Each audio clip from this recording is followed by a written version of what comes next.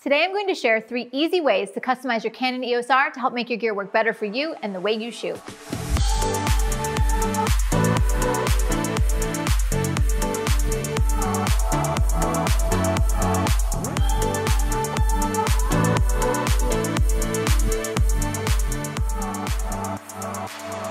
Everybody, I'm Lindsay Adler and I'm a portrait and fashion photographer based in New York City.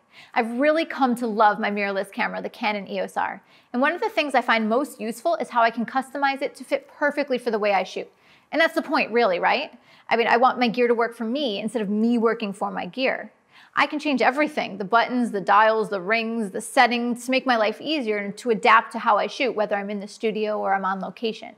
But there are so many different functions and menus and options that it may feel a little bit intimidating to know where to start. And so that's why I'd like to make it easier for you. And I'm going to show you what I find to be most useful for customization.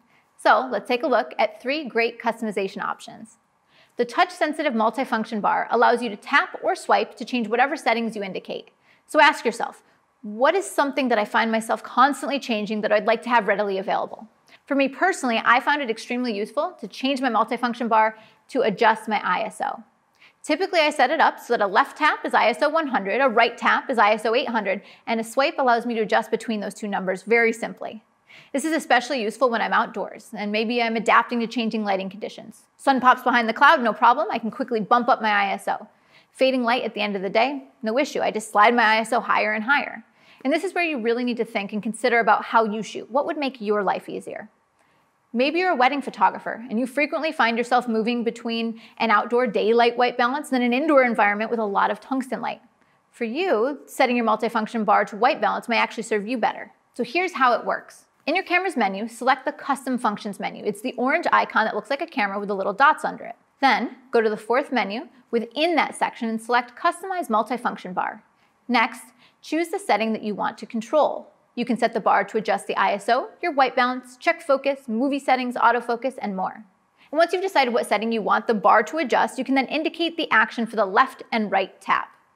And by the way, if you find yourself accidentally swiping or hitting the bar unintentionally, you can actually enable a touch and hold feature that requires a brief hold of the bar to activate it rather than a simple tap or swipe. Another customizable feature is the new Canon control ring. All new RF lenses made for the Canon mirrorless system have this ring that you can program to allow you to easily adjust a number of settings. And these include your shutter speed, your aperture, your ISO, exposure compensation. But let's say that you don't have any RF lenses yet. That's not a problem. There's actually an adapter for your pre-existing EF lenses that gives you this new programmable ring control. Personally, I set my control ring to exposure compensation. When I'm on location, I'm moving around, I'm bopping between lighting conditions, I like to quickly adjust my control ring and change my exposure. What's really great is that because the EOS R has an electronic viewfinder, I can immediately see how the changes in exposure compensation change the final appearance and look of my shot. So how do you set this up? Go back to that same custom function menu, select number four, and then go to customize dials. Scroll down and select and activate the ring, and then choose which setting you want the ring to control.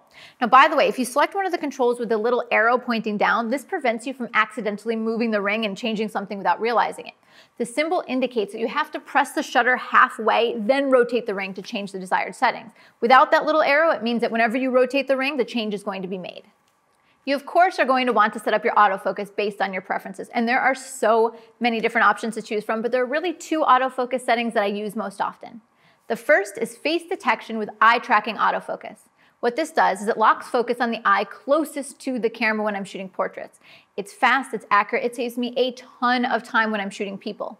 To set this up, go to the autofocus menu, it's purple, and select menu number one. Change the autofocus method to the autofocus face tracking and then enable eye detection AF.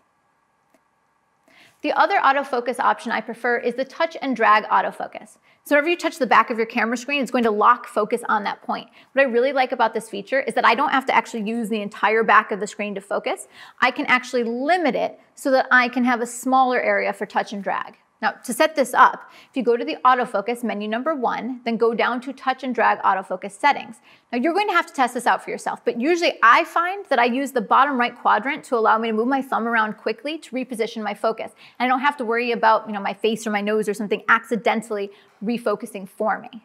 Oh, and by the way, if you have the EOS R and haven't updated to the new 1.4 firmware, you are absolutely missing out. The update dramatically improves eye detection and tracking. You'll notice the difference immediately. Let's say that you have some common features and settings that you use when you're inside the studio, but then you have entirely different set of features and settings you use when you're shooting maybe portraits on location. Honestly, it could be kind of a pain to have to keep switching those around, especially if you're busy and you're moving on the job. But that is what custom shooting modes are for. You can actually customize a shooting mode so you can simply switch between C1, C2, or C3 to select a great starting place for your camera so it's already customized to your preferences based on what you're shooting. Maybe C1 is for shooting indoors, C2 is for shooting outdoors, C3 is for shooting in the studio. Maybe instead you have different modes for shooting people, places, and things. It's really up to how you shoot. All right, so here's what you do. Set up your camera exactly, exactly how you like it. Every setting is going to be saved, so you need to make sure you don't inadvertently have something undesired switched on.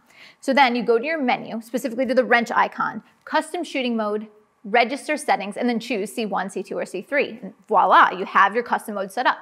So anytime you need to get back to those settings, simply navigate to that custom shooting mode.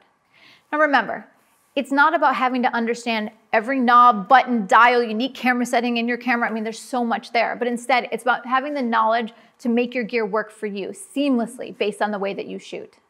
If you'd like to check out the gear in this video or to learn more, visit adorama.com. And if you've enjoyed the video, be sure to like and subscribe.